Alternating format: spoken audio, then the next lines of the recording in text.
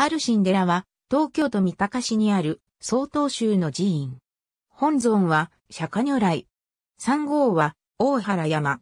慶長7年、1602年に旗本で青山百人組の一人大原春清が草案を建てたのが始まりである。これによって大原山春神寺という。後に柴田勝家の孫の勝重によって改築された。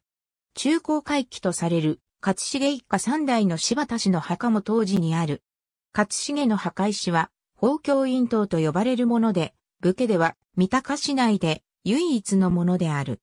完成8年には勝重から数えて10代目の柴田勝房が柴田市歴代の自責を刻んだ石碑、柴田家家石踏みを建立している。この墓所には柴田家一族20期の墓標が建てられている。元那元年大阪の陣に従った柴田勝家の孫の勝重は先行によって武蔵国玉郡、入間郡藤沢村内で500国の地を賜った。勝重は塩素の菩提を弔うために草案を改築し、当時の中高回帰となった。時に、総統州、泉隆二、第二世乱出牛、大和直を招いて、解散となした。これにより、直接の本寺を泉隆二としている。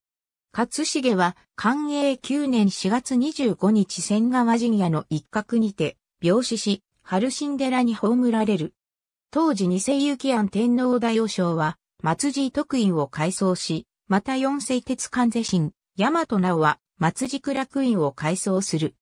ふって、天明五年柴田家十世孫、柴田勝房により、道を再建され、この折、塩素、勝家の位牌を保安して、柴田家先祖書一巻を収め柴田家姫を建立する。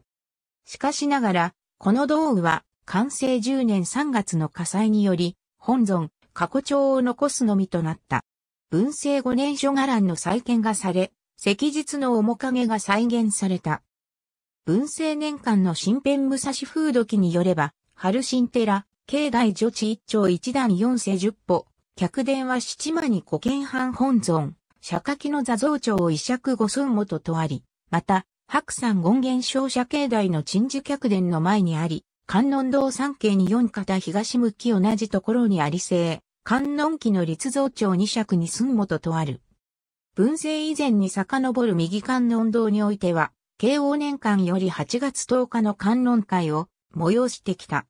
近郷の老若男女が産経市にや三日章の音を、絶さず念仏三昧の相番念仏講が行われ、賑わいを見せたという。また、明和以前より取り行われてきた、阿弥陀公や行進公も今にその姿を伝えている。明治初期には、近在の指定のために、手習いや読み書きを教える寺小屋を開所し、学生前の教育に一助をなした。これが一説には、明治8年設立の川柳学者となったとも言う。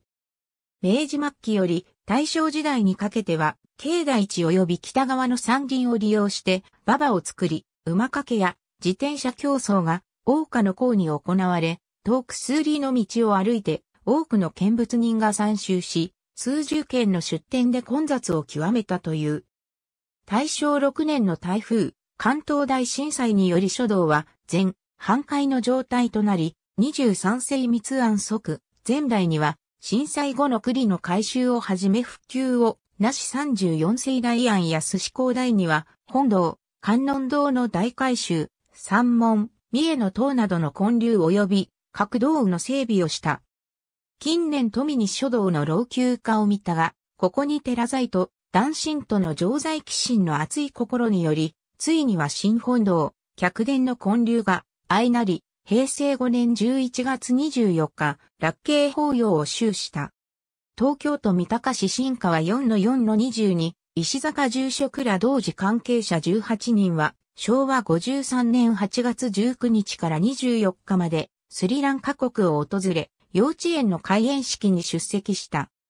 石坂住職は、式の感激は、もちろんだったが、あちこちの寺の境内に大仏があり、住職らを乗せたバスの運転手が大仏のあるところでいちいち車から降りて交通安全を祈願している姿に心を打たれ、春神寺にも大仏を作ろうと決心したという。玉大仏像。1978年11月10日付で、読売新聞にも報じられた。作は、タイヤシリソーマパーラであり、大仏のスタイルは、2200年前のスリランカ最古のもの。座高は3.35メートル。海岸は、昭和54年5月吉祥日であった。スリランカとの交流を伝える石踏み。ありがとうございます。